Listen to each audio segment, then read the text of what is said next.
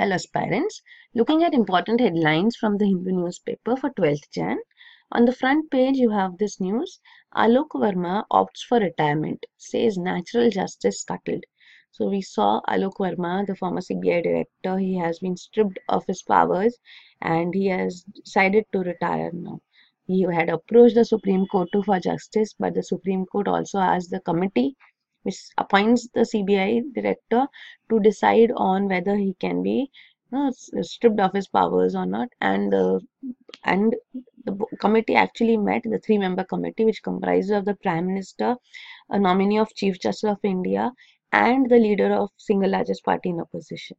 So by majority, by 2-1, it was decided to strip of his powers and in such a scenario, Alok Verma has decided to retire.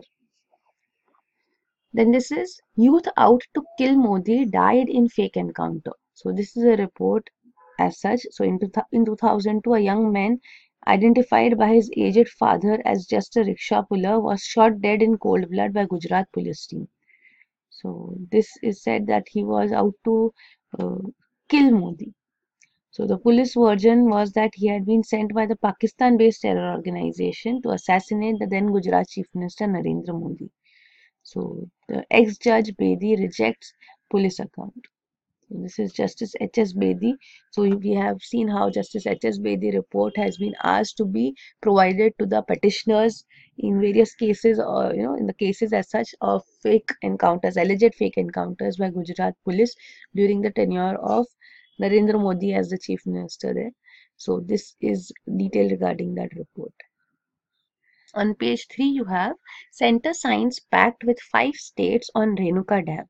So this is for water to Delhi and other basin states. So Center has signed an agreement with chief ministers of five states. These are UP, Rajasthan, Uttarakhand, Delhi and Himachal Pradesh. So these this is a, an agreement to restart construction of Renuka multipurpose dam project on Upper Yamuna River Basin. It's actually a storage project on Giri River, which is a tributary of Yamuna in Himachal Pradesh. So, though the project was uh, was envisaged to make 148 meter high dam for supplying water to Delhi and other uh, you know, basin states, but it will also generate power 40 megawatt power generation. Hydroelectric power would also be generated. Then on page 5 you have ISRO cranks up Gaganyaan project. So this is regarding Indian Space Research Organization announcing setting up Human Space Flight Center. So further steps are being taken. The target is the in the Gaganyaan project to send a manned mission to space by 2022. So this Human Space Flight Center would be established and there is a specific director for this purpose appointed. It has been it has appointed Unni Krishnan Nair as the director for this purpose and this is hashtag me too. Time limit on filing complaints likely to be relaxed. So a government subcommittee is reading its draft recommendations as such. So it is expected that a time limit there's a three months time limit for victims to file complaints under the laws. So this may be relaxed now. So for sexual harassment cases at workplace. Below you have trusted workhorse set to get new features. So this is regarding PSLV, Polar Satellite Launch Vehicle of ISRO. So upcoming mission will use PSLV DL. So this is an upgraded version as such which has been you know used now. So this PSLV as such will sport two strap-on boosters to give added thrust. So this is a variant as such which will be used now in upcoming missions then this is will not accept high value Indian currency, says Nepal. So we had seen this in news earlier too. So Nepal refuses to use high value Indian currency notes. It says will not accept them until the government specifically assures against future shocks. So this is in the context of demonetization.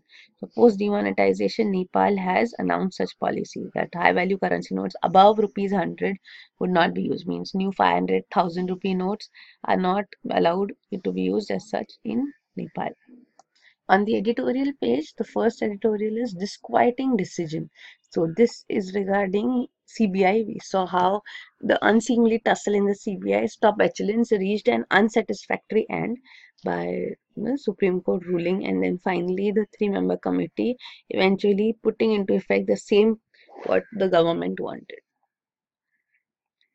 Then this is wall of shame. So this is regarding the wall which US President Donald Trump demands along its border with Mexico. So it says, and because of this, uh, US President Donald Trump has uh, a conflict with the party in opposition in USA, that is the Democrats. He belongs to Republicans. So this has resulted in the bill to ensure that uh, you know, workers are paid salary, government employees are paid salary. So that is being, you know, there's a partial shutdown as it is called. So it has to be approved regularly. So presently the approval has not come forth because of conflict between the two in the legislative body. So this has resulted in shutdown so that's what it says that the shutdown over the Mexico wall demand will long define Donald Trump's presidency. So your workers are not being paid salary. So the US federal government has been into a three week long shutdown now. Nearly 8 lakh public sector workers have been furloughed. So furloughed is a term means they are you know, temporarily out of uh, service you know, without pay. Then this is the lead article No freedom without equality at Sabrimala. So, freedom of religion means the right to practice one's own religion, not the freedom to undermine fundamental rights. So, that's the argument being made here. And this is hurrying through our legislation. So, this is regarding the quota bill. It says the passage of the quota bill highlights grave gaps in India's parliamentary procedure.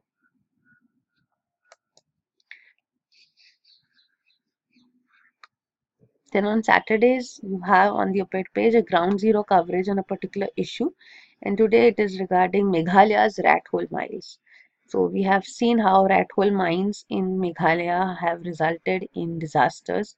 We have been uh, following the news about 15 miners who have been trapped in an illegal coal pit in a rat hole mine in Meghalaya since December 13 and now water is gushing into this region and because of which even rescue efforts are futile.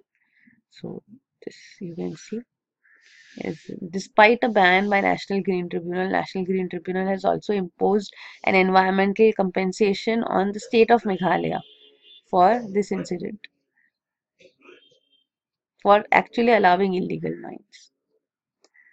Then on page 8 you have Eight people from India have joined Al Qaeda wing, NIA. So, National Investigation Agency has say, said that there are around eight men from Kerala and Karnataka who have, uh, you know, are said to have joined Jabhat al-Nusra, a former Al Qaeda outfit in Syria. Then on page 9 you have Bedi report dismisses pogrom charge. So it says Muslims were not specifically targeted as alleged by senior IPS officer but then it has given its detailed report you can refer to it here then on page 10 you have Pompeo lays out strategy for West Asia. So this is US Secretary of State Mike Pompeo. He has laid down out his vision for America's role in West Asia. So this is, you know, in the context of international relations, it's very important. On business page, you have industry growth falls to 17 month low of 0.5%. So this is the November month's uh, industrial output growth uh, data, IIP Index of Industrial Production. And this is views divided on vote on account option for central government. So this is regarding the need to amend the Finance Act and Income Tax Act if government wants to give income tax or corporate tax relief in the budget. So, you know, so this is providing corporate reliefs and income tax reliefs may require amendments. So this is being looked into. So political experts say that doing so would fly in the face of convention. So, then on the last page you have artificial intelligence beats doctors at detecting early stage cervical cancer. So the, it found the artificial intelligence found precancerous cells with 91% accuracy as compared to 69% by expert review. So this is how artificial intelligence can be brought in in medical diagnosis too. And this is China's moon rover prepares for a rough ride. So this is regarding China's moon rover the lunar probe so it has sent the first panoramic image here so it's on a historic mission here on the far side of the moon. We have been discussing this. It has been the Chang'e 4 probe, so which has uh, been, been landed. It has made a soft landing on the moon. So it's the world's first soft landing on dark side of the moon. And then you have here oceans are heating up at a fast pace. So world's oceans are heating up at an accelerating pace as global warming threatens the diverse range of marine life and major food supply for the planet. So this is a finding in uh, US journal as such. And the last news here is Musk unveils prototype of Mars-bound rocket. So this is SpaceX CEO. It's a private sector space agency. SpaceX, its CEO Elon Musk has unveiled the first pictures of a retro-looking steely rocket called Starship that may one day carry people to Moon and Mars. So these are the important headlines.